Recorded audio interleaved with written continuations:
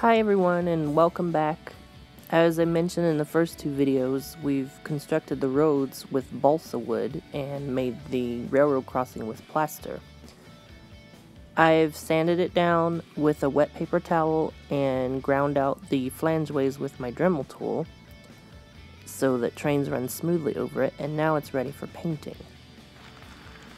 For painting I just use acrylics. I use three different colors, a black, a white, and an ochre color to give the road a little bit of a dirty tint and mix it all together.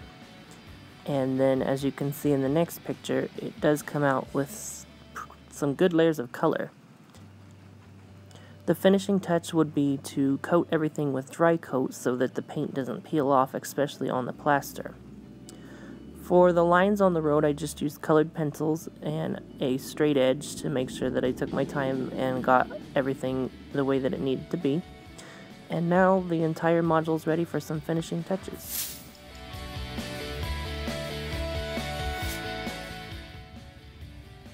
Okay, with all the little details done, we have a pretty completed module. You can see I added little things like the switch stand, some people in the backyard, the pole line, propane tank for the house, lots of people and signs and random little details on the storefronts.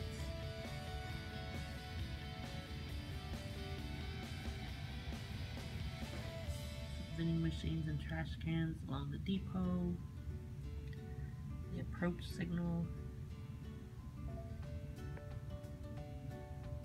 So, all in all, I think this turned out to be pretty good, and it will definitely be a much better way to take videos while I'm building the layout.